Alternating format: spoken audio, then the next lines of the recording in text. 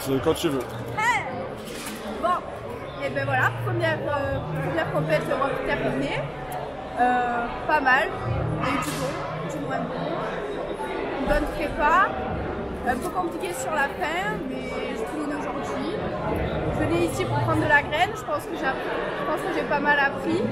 Le vol, été un peu compliqué, pas mal de courbatures, mais j'ai tout et je suis contente. Et je ramène un souvenir, les gars. Yes Bon, c'est quoi l'objectif de la saison maintenant là L'objectif de la saison, ben, France, faire un gros tour à la France, peut-être prendre quelques records à Agnès et euh, monde si c'est possible et ben, retourner sur Europe et voir pour le bench seul. Ok, très bien. Rendez-vous pris alors.